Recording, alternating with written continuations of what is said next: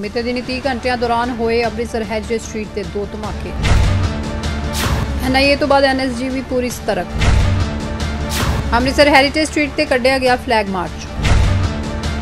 ਸ਼੍ਰੀ ਦਰਬਾਰ ਸਾਹਿਬ ਨੇੜੇ heritage street ਦੇ ਵਿੱਚ 30 ਘੰਟਿਆਂ ਦੌਰਾਨ ਦੋ ਧਮਾਕਿਆਂ ਦੇ ਪਿੱਛੋਂ ਇਲਾਕੇ ਦੇ ਵਿੱਚ ਸਹਿਮ ਦਾ ਮਾਹੌਲ ਬਣ ਚੁੱਕਿਆ ਹੈ। ਧਮਾਕਿਆਂ ਦੇ ਪਿੱਛੋਂ ਪੁਲਿਸ ਅਲਰਟ ਤੇ ਹੈ। ਪਹਿਲਾਂ ਐਨਆਈਏ ਸੀ, ਹੁਣ ਐਨਐਸਜੀ ਵੀ ਪਹੁੰਚ ਚੁੱਕੀ ਹੈ।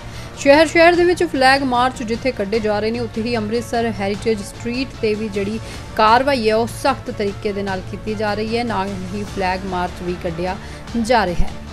ਬੀਤੇ ਦਿਨੀ ਹੋਏ ਦੋ ਧਮਾਕੇ ਭੇਤ ਬਣੇ ਹੋਏ ਨੇ। ਘਟਨਾ ਵਾਪਰਨ ਤੋਂ ਬਾਅਦ ਪੁਲਿਸ ਦੇ ਸੀਨੀਅਰ ਅਧਿਕਾਰੀ ਮੌਕੇ ਤੇ ਪੁੱਜੇ ਹੋਏ ਸੀ। ਫੋਰੈਂਸਿਕ ਮਾਹਿਰਾਂ ਤੇ ਬੰਬ ਨਕਾਰਾ ਕਰਨ ਤੇ ਲੱਭਣ ਵਾਲਾ ਜਿਹੜਾ ਦਸਤਾ ਸੀ, ਉਹ ਵੀ ਮੌਕੇ ਤੇ ਪਹੁੰਚਿਆ ਸੀ ਤੇ ਬੀਤੇ ਦਿਨੀ ਪੁਲਿਸ ਦੇ ਡੀਜੀਪੀ ਗੌਰਵ ਯਾਦਵ ਵੱਲੋਂ ਇਹ ਸਾਫ਼-ਸਾਫ਼ ਆਖਿਆ ਗਿਆ ਸੀ ਕਿ ਫੋਰੈਂਸਿਕ ਮਾਹਿਰਾਂ ਦੇ ਵੱਲੋਂ ਦੋਹਾਂ ਧਮਾਕਿਆਂ ਦੀ ਅਜੇ ਜਾਂਚ ਪੜਤਾਲ ਕੀਤੀ ਜਾ ਰਹੀ ਹੈ। ਮੁੱਢਲੀ ਜਾਂਚ ਦੇ ਦੌਰਾਨ ਇਸ ਘਟਨਾ ਨੂੰ ਅੱਤਵਾਦੀ ਕਾਰਵਾਈ ਜਾਂ ਕਿਸੇ ਵੀ ਸ਼ਰਾਰਤੀ ਵਿਅਕਤੀ ਦੇ ਵੱਲੋਂ ਕੀਤੀ ਕਾਰਵਾਈ ਆਖਣਾ ਜਲਦਬਾਜ਼ੀ ਹੋਵੇਗਾ। ਸੋ ਪੁਲਿਸ ਹਰ ਪੱਖ ਤੋਂ ਇਸ ਦੀ ਜਾਂਚ ਪੜਤਾਲ ਕਰ ਰਹੀ ਹੈ।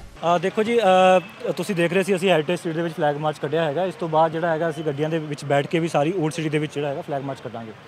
ਤੇ ਅਸੀਂ ਤੁਹਾਡੇ ਮਾਧਿਅਮ ਰਾਹੀਂ ਪਬਲਿਕ ਨੂੰ ਇਹੀ ਦੱਸਣਾ ਚਾਹੁੰਦੇ ਹੈਗੇ ਹਾਂ ਕਿ ਜਿਹੜੀ ਇੱਥੇ ਸਥਿਤੀ ਹੈਗੀ ਹੈ, ਪੂਰੀ ਪੀਸਫੁਲ ਹੈਗੀ ਹੈ, ਕਿਸੇ ਨੂੰ ਕੋਈ ਪੈਨਿਕ ਹੋਣ ਦੀ ਲੋੜ ਨਹੀਂ ਹੈਗੀ। ਜਿਹੜਾ ਇਹ ਸਾਰੇ ਫੇਕ ਨਿਊਜ਼ ਜੋ ਵੀ ਫੈਲਦੀ ਸੋਸ਼ਲ ਮੀਡੀਆ ਤੇ, ਉੱਤੇ ਵਿਸ਼ਵਾਸ ਕਰਨ ਦੀ ਲੋੜ ਨਹੀਂ। ਇਹ ਤੁਸੀਂ ਜੀ ਆਪ ਦੇਖਿਆ ਹੈਗਾ, ਸਾਡੀਆਂ ਜਿਹੜੀਆਂ ਲੋਕਲ ਟੀਮਸ ਹੈਗੀਆਂ ਤੇ ਮੋਹਾਲੀ ਐਫਐਸਐਲ ਵੀ ਆਈ ਸੀਗੀ, ਉਹਨਾਂ ਨੇ ਸੈਂਪਲ ਕਲੈਕਟ ਕੀਤੇ ਨੇ। ਸਾਡੀਆਂ ਹੋਰ ਵੀ ਜਿਹੜੀ ਟੀਮਾਂ ਹੈਗੀਆਂ ਇਨਵੈਸਟੀਗੇਸ਼ਨ ਦੇ ਵਿੱਚ ਲੱਗੀਆਂ ਹੋਈਆਂ। ਜਿਹੜੇ ਸੀਸੀਟੀਵੀ ਫੁਟੇਜ ਵੀ ਕਾਫੀ ਚੈੱਕ ਕੀਤੇ ਜਾ ਰਹੇ ਨੇ, ਜਿਹੜੇ ਸਾਨੂੰ ਲੱਗਦਾ ਸੀਗਾ ਕਿ ਲੋਕ ਜਿਹੜੇ ਉਸ ਦੇ ਨੇੜੇ ਤੇੜੇ ਨੇ, ਉਹਨਾਂ ਤੋਂ ਪੁੱਛਗਿੱਛ ਕੀਤੀ ਜਾ ਰਹੀ ਹੈ।